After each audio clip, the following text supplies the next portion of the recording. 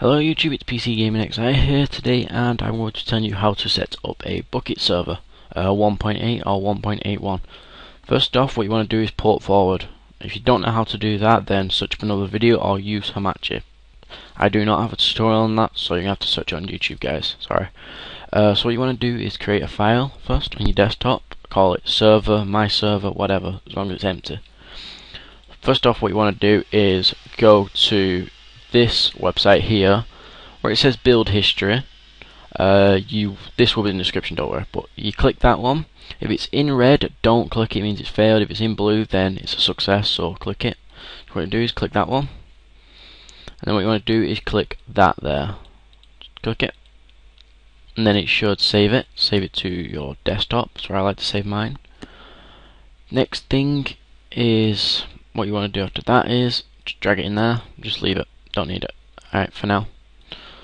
What you want to do then is copy this code. This this website will be in the description as well. It's for Linux Mac and Windows. You also got to have Java JRE I think it is.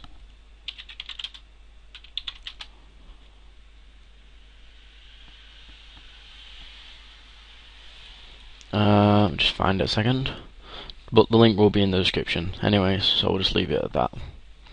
What we're going to do is create a new text document.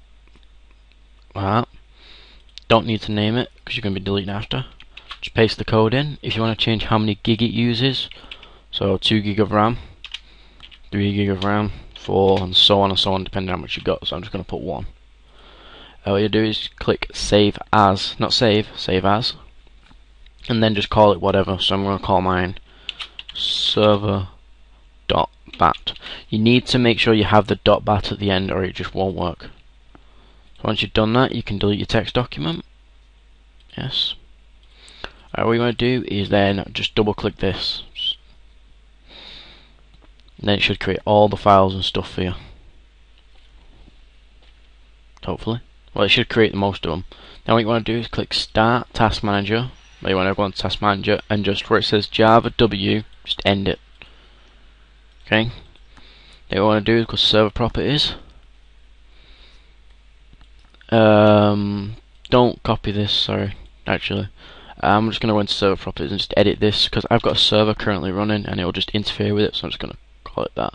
But if you want to change the port, that's how you do it. So once you've double clicked that and you've ended that Java W, then what you want to do is click on server.bat. Then what it should do is start to generate everything for you.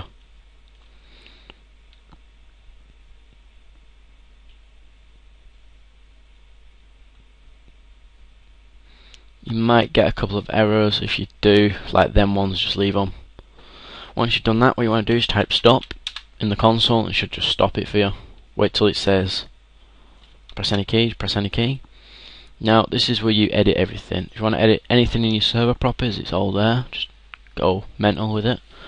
If you want to edit your ops, who you want to be op and stuff like that, it's all there. Um, the rest you really don't need. Whitelist if you want to whitelist your server so only certain people can join. Uh, how to just add plugins, what you want to do is go to this website, it will be in the description, and just search for plugins. And just when you download them, drag them into this file, the plugins folder, and it should work. Some may need permissions. Anyway, uh, Java is this is the one that you need it will be in the description don't worry. So what you do is just download. So yeah it will be in the description anyway. And then you just accept and then just choose one that you downloaded. Um, anyway thanks for watching. If you have any problems or errors or stuff like that you want me to try and help you with uh, just send me a message. And thanks for watching. Rate comment and subscribe